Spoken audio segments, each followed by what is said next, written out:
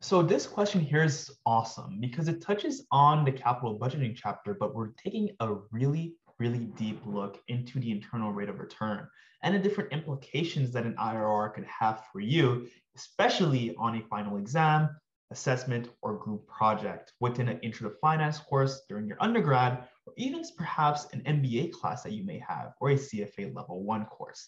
So it's really important to understand what we're gonna look at here. Here, we're going to look at IRRs for two different projects that are mutually exclusive, but more especially, we're going to look at the crossover rate, the intersection between these two different projects. And trust me, this is something that I've seen several times on final exams. So you really want to be able to understand how to do this.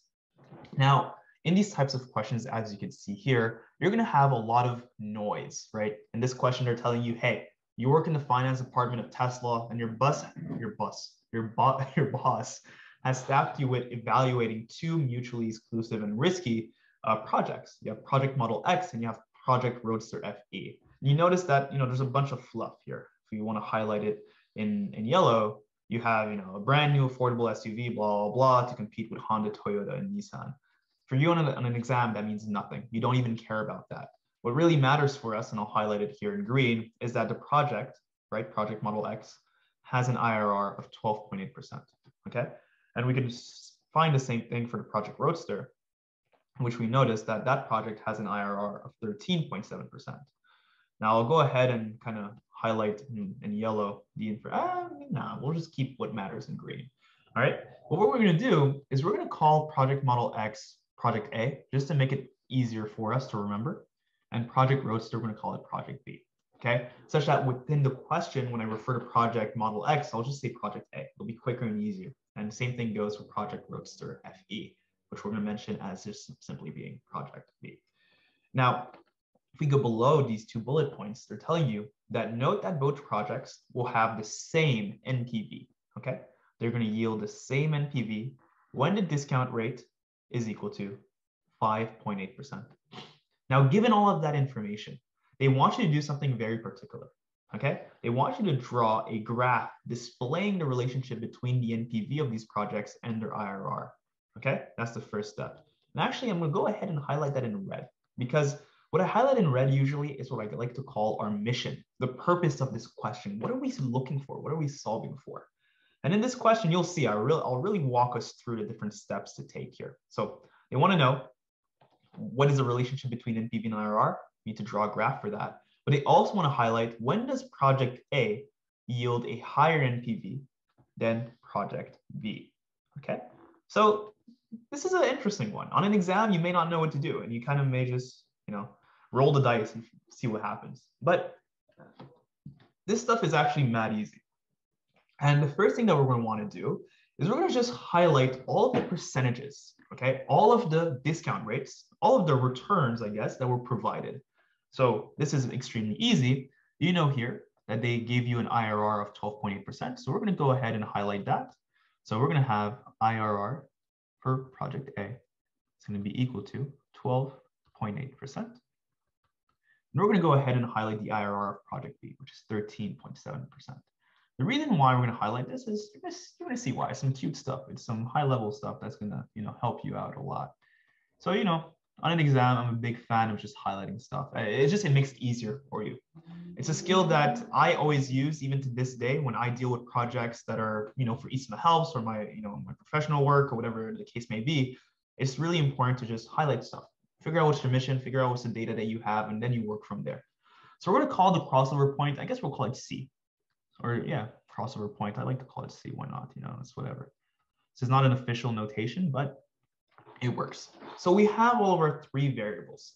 Now what we're gonna do in the next step is gonna be pretty cool, is we're just gonna draw a line.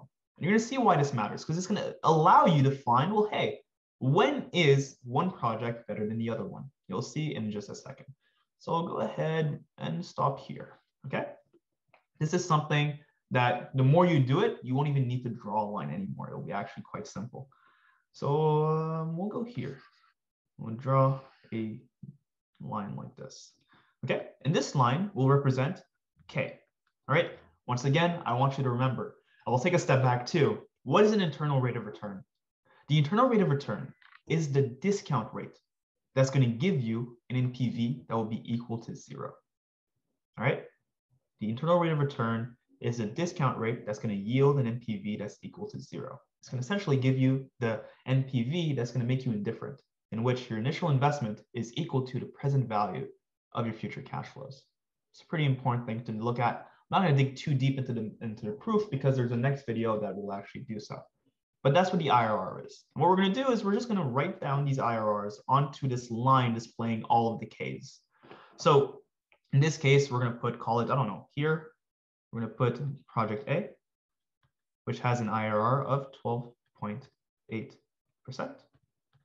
And here, I guess I'll put project B. Okay, here we're to have project B, which has an IRR of 13.7%. So the K is equal to 13.7%. So once again, remember, an IRR is still a discount rate. It's just a very specific K. It's a K that's more unique than any other Ks out there, okay? And then we're gonna write our C. Our C is, I guess because there's only a small gap here, we're gonna put it like here. This will be C at 5.8%, okay? Now, theoretically, I guess we'll have like zero somewhere here. Now, for sure, my like the way I'm doing this isn't you know the most official way, but you get what I'm trying to do. So we'll have 0% here. So you can notice that we have our crossover point. So the point at which the NPVs will be equal to the same thing. It's way far back. And then you notice that the points at which the NPV will be equal to zero for project A and project B are kind of close together, okay? Now the reason why this is interesting, all right? If we wanna add a little line here, so I'll go ahead and draw a line here. I guess we'll have to move our stuff a little bit. You'll see why this matters. Is we can draw another line that's going to be super, super duper important. And that's going to be the line displaying the, whoops, the NPV. Okay, so we're going to draw a vertical axis. Okay, so we're going to draw a second dimension in which we're going to be able to display the NPV. So here we're going to write NPV. Now, they didn't give us the NPV for project A, nor did they give us the NPV for project B. Okay, we don't have those things just yet, and we don't know what's the value of the NPV when you know these two projects are actually going to have the same NPV. But that's fine. It's it's actually okay. It's actually not a problem. So you can go ahead and put it like that. Okay. What I do want you to be able to visualize is that our crossover rate, right, is a point at which the NPV of project A will be equal to the NPV of project B. What we could do now and this is like a proof, and I, I hope it makes sense and I hope it works for y'all.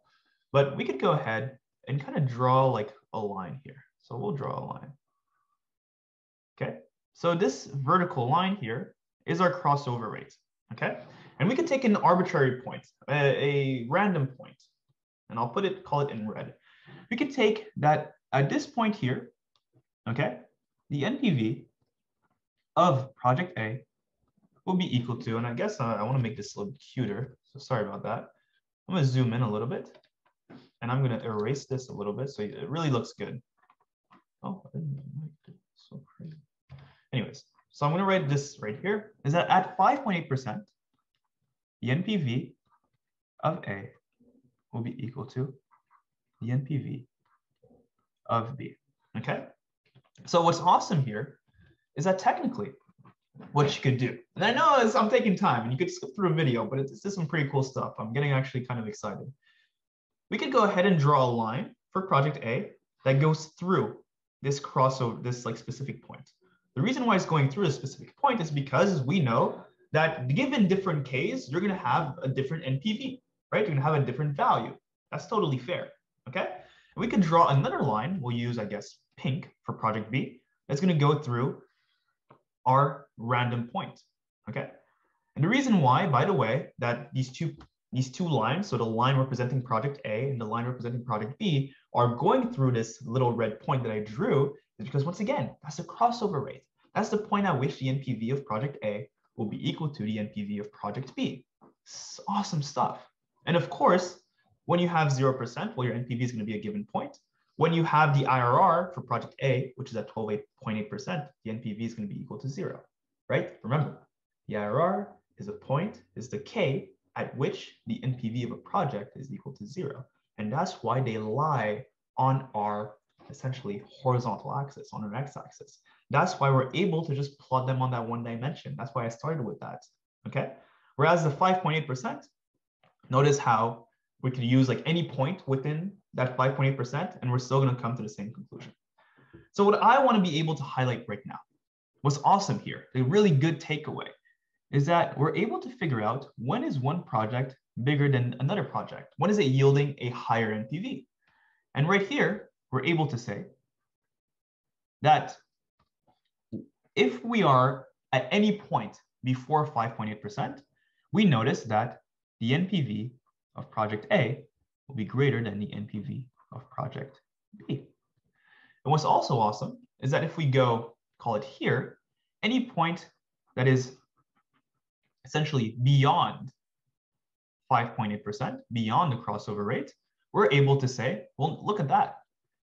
At this point, the NPV of project B will be greater than the NPV of project A.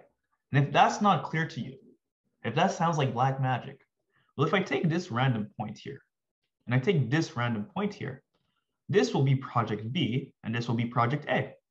So clearly, the if this is like call it five and this is three, clearly project B is greater than project A. Okay, so just like that, you're able to answer the question. Well, here we will say that any point, okay, so any point before the crossover rate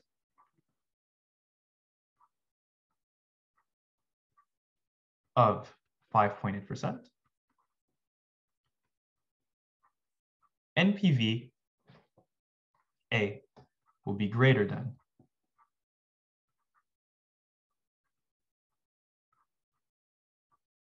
NPV of project B. Now, I'm not going to continue and say, well, any point after 5.8%, NPVB will be greater than NPVA. But what I really want to showcase to you, and I hope this is clear, because we took a random point, okay? But if I were, and I'll put it in like a random color, so it's really, really like pops off. But if we took like, call it a intersection at this point here, right? Because we just took a random point, right? Along the vertical axis of 5.8%. We just drew a vertical line. But if I would have taken a ran another random point, so on an exam, you don't have to take like a specific like vertical point. We could have done this as well, right? We could have made our lines run through it. And you would also see here that at this point here, project, okay, I'm using the same color, so it's a little bit strange. So let's do this, for example. Check this out, it's awesome. You notice that even here, we come to the same conclusion, that the project A is greater than project B. And that here, project B is greater than project A. So what's awesome and the real key takeaway here is that on an exam, you could literally choose any vertical point, right? On your horizontal axis. I mean, sorry, on your vertical axis and just try to like graph it out such that you have a visual representation and you can make sure that you have the right answer. And that's exactly what we did here. Another really good high level tool to use, and you can add this to your formula sheet, it's simple. Well, notice how they gave us these two values, 12.8% and 13.7% the higher IRR that they gave you. So the higher IRR and the, I guess, smaller IRR. I guess bigger IRR and smaller IRR.